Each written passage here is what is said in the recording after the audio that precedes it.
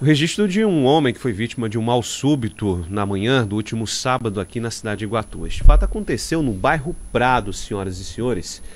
E segundo informações que coletamos com nossa equipe de jornalismo, a vítima de nome José Carlos estava seguindo em uma motocicleta quando sentiu-se mal. Ah, ele parou na praça do bairro Prado, ah, isso na manhã do último sábado.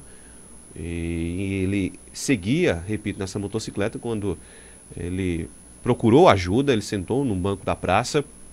O SAMU foi acionado, tentaram realizar manobras de reanimação e suspeita-se aí que ele tenha sido vítima de um infarto fulminante.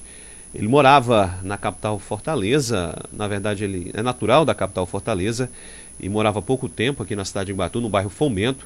A perícia forense foi acionada, assim como também a polícia militar. Essas imagens aí foram amplamente compartilhadas nas redes sociais mostram movimentação da manhã do último sábado da praça do bairro Prado aqui na cidade de Iguatu. Portanto, fica aí o registro da informação.